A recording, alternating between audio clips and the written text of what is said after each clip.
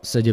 januára sa v pracovni primátora už po šiestýkrát uskutočnilo novoročné stretnutie predstaviteľov mesta so zástupcami holických škôl a školských zariadení.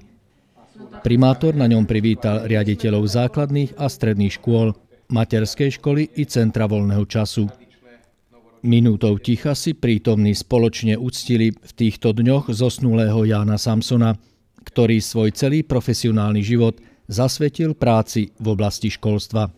V príhovore primátor okrem iného poďakoval predstaviteľom škôl za ich doterajšie aktivity i celoročnú spoluprácu s mestom.